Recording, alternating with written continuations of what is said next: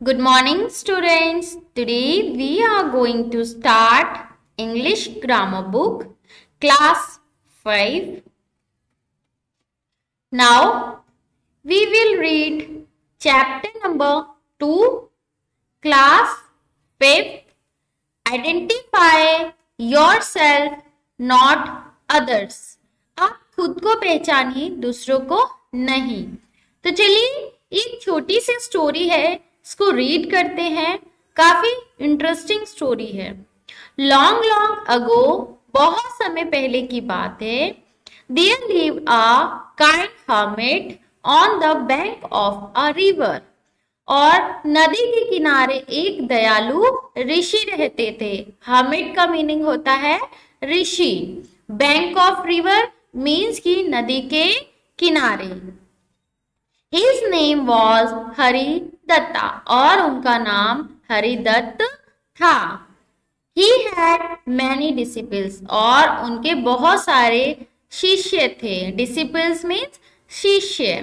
He taught many things to his disciples और जो ऋषि थे, वो बहुत ही दयालु थे और इसी के साथ अपने शिष्यों को ढेर सारी चीज़ें सिखाते थे। He was very kind hermit जैसे कि वो बहुत दयालु थे, अभी बताया। He love not only human beings वो सिर्फ़ ना ही व्यक्तियों से प्यार करते थे but also the birds and animals वो इंसानों के साथ साथ पक्षियों और जानवरों से भी बहुत अधिक प्रेम करते थे। All the animals live friendly और जितने भी पशु पक्षी थे, वो बड़े प्रेम से रहते थे। The lion and the cow live together और जो शेर और गाय थे, एक साथ रहते थे। उनमें इतना प्रेम था कि ये सभी एक साथ रहते थे बिना एक दूसरे को नुकसान पहुँचाए। No one harm another The hermit and his disciples used to go to take bath in the nearby river every day. और जो ऋषि थे और जो उनके शिष्य थे, वो रोज डेली नदी में नहाने के लिए जाते थे, जो कि उनके पास में थी वन मॉर्निंग और एक दिन सुबह the hermit was taking bath in the river और जो हर्मिट था, जो ऋषि थे, वो रिवर में नहा रहे थे। ही सा आ स्कॉर्पियन और उन्होंने एक बिच्छू को देखा। स्कॉर्पियन मीन्स बिच्छू। In a helpless condition in the water और जो स्कॉर्पियन था, वो एक हेल्पलेस कंडीशन में था। The scorpion was floating in the river और जो स्कॉर्पियन था पानी के ऊपर तैर रहा था। It seem that the scorpion was about to drown और उनको लग रहा था कि कहीं ये बिच्छू डूब ना जाए। The kind hermit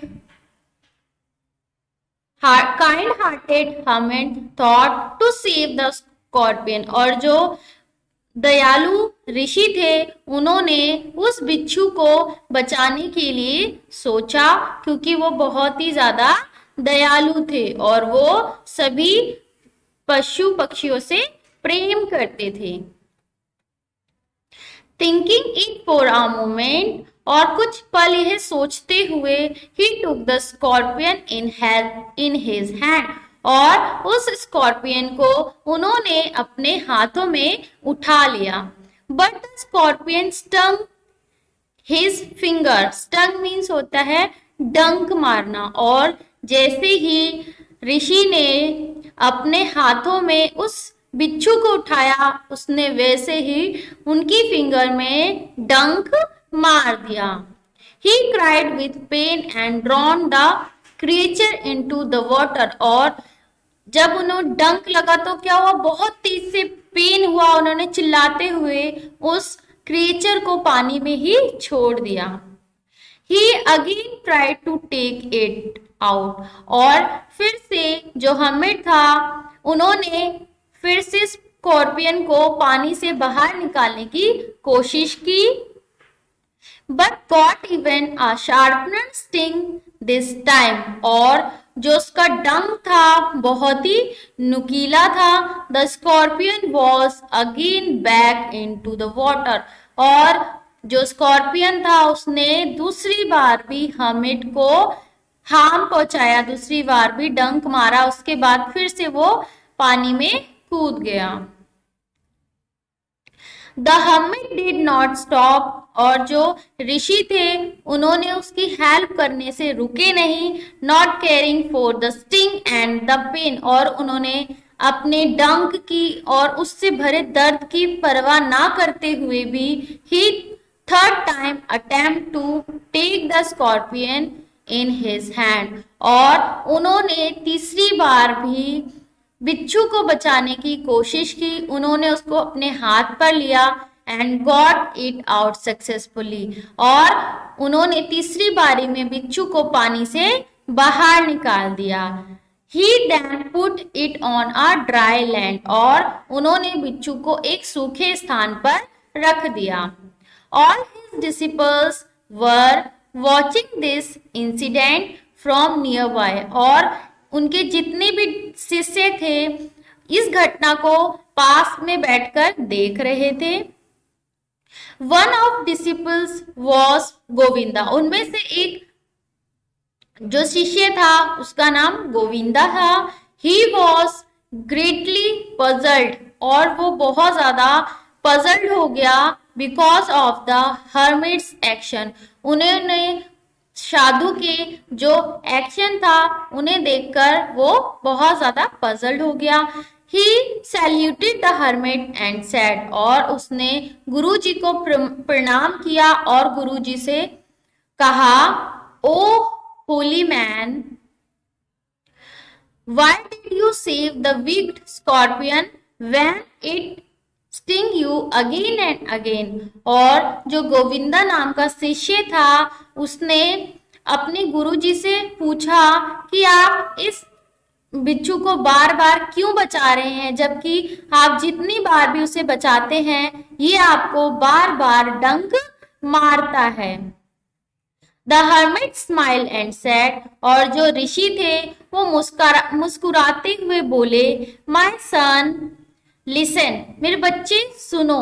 The scorpion stung me it was its habit और जो स्कॉर्पियन था स्टंक उसकी डंक मारने की आदत है। I saved it it was my habit और मैंने उसे बचाया क्योंकि किसी की भी जान बचाना मेरी हैबिट है। We should try to do good even to those who do bad to us हमें सबके लिए अच्छा ही करना चाहिए। अगर कोई हमारे लिए बुरा हो, तब भी। Only by love and kindness can we win over others hatred breeds haters और अगर हम इस तरीके से करेंगे लोगों के साथ दयालु, दयालुता दिखाएँगे तो हम किसी भी नफरत करने वाले व्यक्ति का भी दिल जीत सकते हैं। Listening the answer of hermit और अपने गुरु जी की बात को सुनकर all disciples were surprise very much और जितने भी शिष्य थे, इस बात को सुनकर बहुत ही ज़्यादा आश्चर्य चकित हुए। The disciples learn a new lesson और जो उनके जितने भी शिष्य थे, उन्होंने आज एक नया लेसन सीखा था, नई बात सीखी थी फ्रॉम देयर टीचर्स वर्ड्स और उन्हें अपने गुरु जी से ये सीखा। They promise to remember these words और उन्होंने अपने गुरु जी से प्रॉमिस किया कि हम आपके ये वचन हमेशा याद रखेंगे। तो इस कहानी से हमें क्या शिक्षा मिलती है? अगर कोई आपके लिए बुरा भी करता है, तब भी हमें उसके लिए अच्छा ही करना है। और आप अच्छाई के रास्ते पे चलकर आप उसके लिए अपने दिल में जगह बना सकते हैं।